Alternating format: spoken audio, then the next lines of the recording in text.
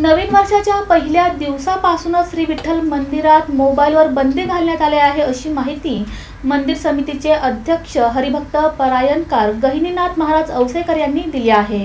एक जानेवारी दोन हजार वीसपासून पंढरपूर इथल्या श्री विठ्ठल रुक्मिणी मंदिरात मोबाईल न येण्याचा ठराव मान्य करण्यात आला आहे. समितीमध्ये ठराव मान्य करून त्याची अंमलबजावणी नवीन वर्षापासून करण्यात येणार आहे. त्याचबरोबर मंदिरात होणाऱ्या कार्यक्रमाला लाऊडस्पीकरची परवानगी मिळणार नाहीये. आळंदीला जाताना संत नामदेव महाराजांच्या पालखी सोहळ्यात एकोणीस नोव्हेंबरला दिवे घाटामध्ये अपघात होऊन सोपान महाराज नामदास व अतुल जोशी यांचं निधन झालं होतं.